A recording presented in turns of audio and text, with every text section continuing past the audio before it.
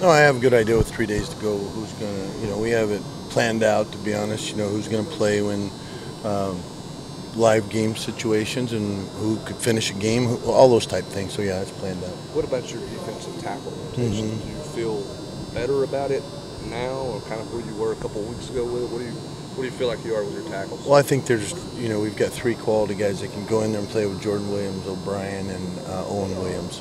So you know, those three will get the majority of the playing time. There's mixing still. Yeah, trying to find coming along, way. developing. Yeah, I like him, and he adds a dimension. He adds athleticism and speed to the field.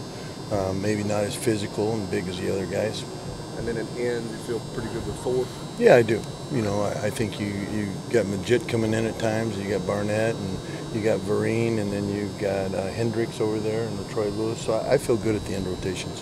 What is it when you look at Utah State that just is is the hardest thing for the defensive line? Well, I, I think that they're a tempo offense. First of all, they're going to do things fast. And when you look at games like their Southern Cal game last year, they had Southern Cal on their heels because of their tempo. Obviously, Chuckie at quarterback is always a concern. And, you know, I think the maturity of their team, you know, they have some older players and I, they're used to winning. And so it, it'll be a great challenge. Are you better equipped to handle a mobile quarterback simply because you're more athletic, or is it not that simple? Uh, oh, I believe we are. I, I absolutely believe we are. You know, obviously we're working very hard at it also, but I think just because we are m- much more athletic, that makes us uh, much more prepared for an athletic quarterback.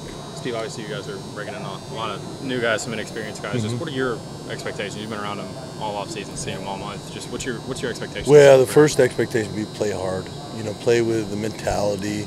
Um, that's that's the challenge I just gave them after practice. Is we need to go out there and show a defensive line mentality, which is being physical and playing hard. We're not going to be perfect. We're going to make mistakes. We've got some young guys that got to grow up. But as long as we're playing hard and playing physical and displaying that defensive line mentality, we'll be okay. Does that mean you have to have extra patience knowing how many inexperienced you guys, players you guys are going to play, or is that just an in-game, just feel how they're reacting to you? patience is not a good word. So, uh, but I, I'll I'll say this: I think it takes knowledge as a coach. You know, don't put them in situations that they can't be successful in.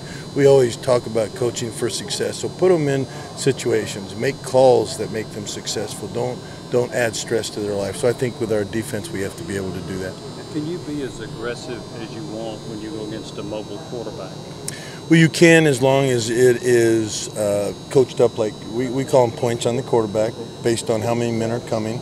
They all have assigned points. And I think in a game like this, you just have to be very conservative in making some aggressive moves, but you can be as aggressive as you want to as long as you're on your point on the quarterback. So, again, I think that's where athleticism comes in and helps you out. Will you be lim- limited in the number of looks you can give them because of your youth?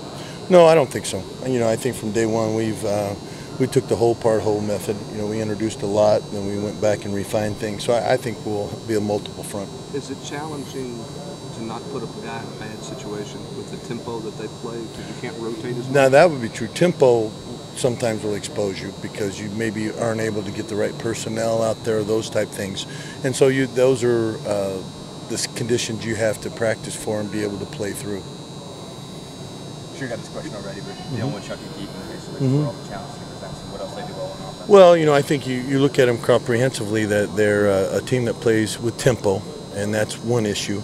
And then on top of that, you've got a mobile quarterback. That's a separate issue.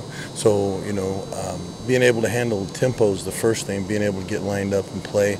And then after the ball is snapped, then being able to uh, keep your points on Chuckie. So, you know, it, it's a two-headed monster. Are How are you guys preparing for the tempo? What have you, what have you guys done in practice just to get these guys used to it? Well, thankfully, our offense is a tempo offense, so we practice it all the time.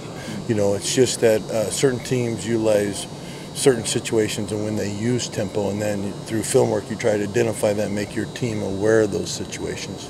Are you, um, uh, as far as their personnel around Chuckie Keeton, are you Mm-hmm. impressed with the running back and the receivers, the weapons that he has around him? Well, I am. You know, the running backs are good, and you know, one of them's you know coming off uh, an injury last year, just like Chuckie is. So I think they're a little bit untested. You know, their offensive line has mostly been replaced. Four of the five are, are you know new.